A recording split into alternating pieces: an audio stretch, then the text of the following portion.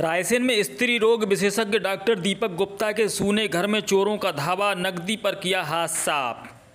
रविवार शाम पाँच बजे प्राप्त जानकारी के अनुसार रायसेन में एक बार फिर चोरी की वारदात ने लोगों में सनसनी फैला दी है। इस बार शहर के जाने माने स्त्री रोग विशेषज्ञ डॉक्टर दीपक गुप्ता के घर को निशाना बनाया गया। घटना तब घटी जब डॉक्टर गुप्ता अपने परिवार के साथ दीपावली मनाने उनके पैतृक घर गए हुए थे।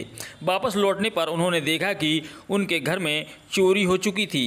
चोरों ने लगभग 20 से पच्चीस हज़ार रुपये की नकदी पर हाथ साफ़ कर दिया।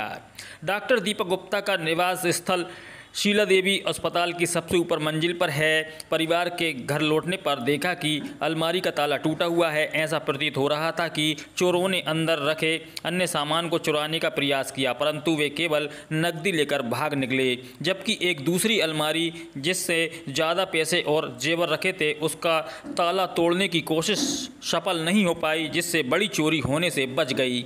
जैसे ही घटना की जानकारी कोतवाली पुलिस को मिली, वे तुरंत घटनास्थल पर पहुँचे और मामले की जाँच शुरू कर दी। पुलिस ने डॉक्टर गुप्ता और उनके परिवार से घटना के बारे में विस्तृत जानकारी ली और घटना का निरीक्षण किया। पुलिस ने वरिष्ठ अधिकारियों को भी घटना से अवगत करा दिया है और चोरों की तलाश शुरू हो गई है।